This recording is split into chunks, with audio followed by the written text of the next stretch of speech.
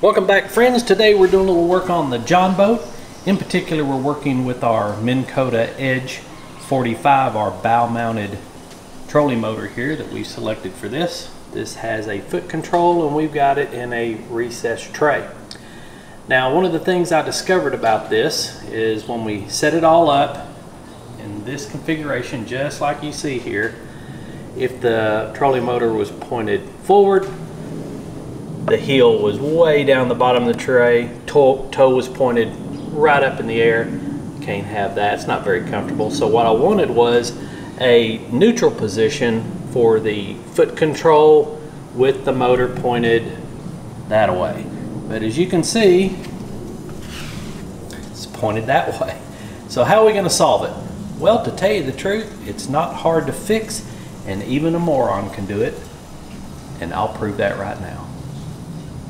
The first thing is you have to remove the screws down here at the bottom. There's six of them. You're going to take the cover off of the head and it's going to expose all that complicated looking stuff right there. But it's really not going to be hard at all to do.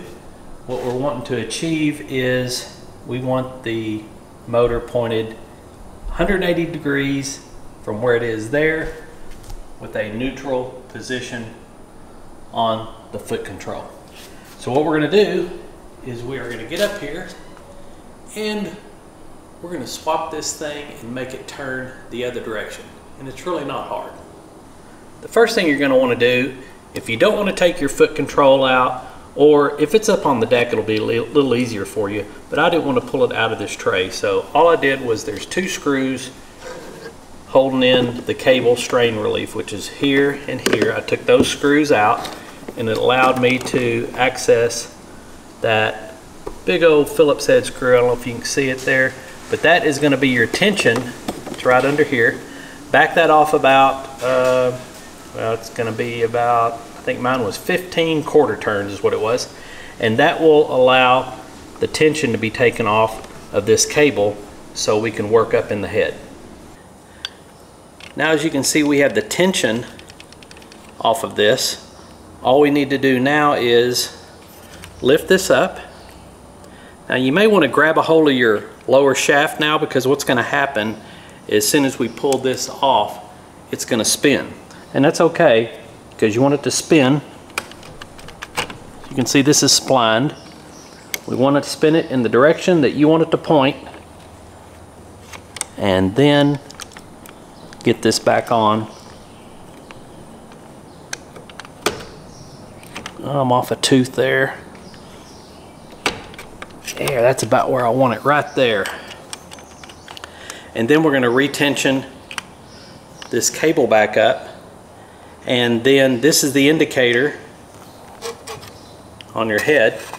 So we're gonna end up pointing it this direction.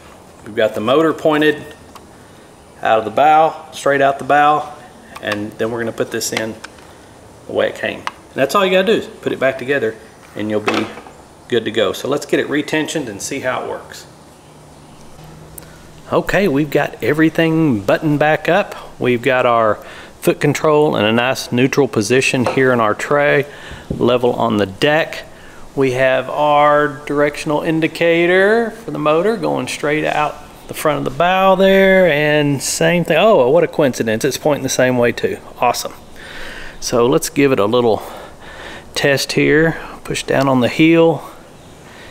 Yep, nice and smooth. And push on the toe. Perfect. Exactly what we wanted to do. So it's pretty easy.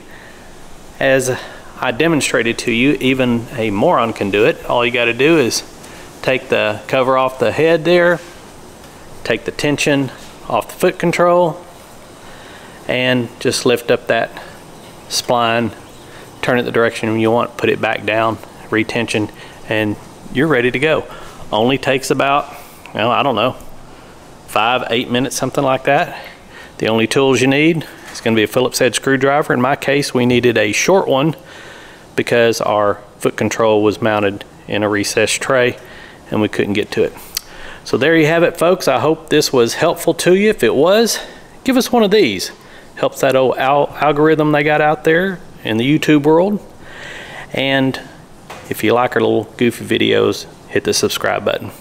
So until next time, you guys be safe, keep that life jacket handy, and we hope to see you out on the water. Adios.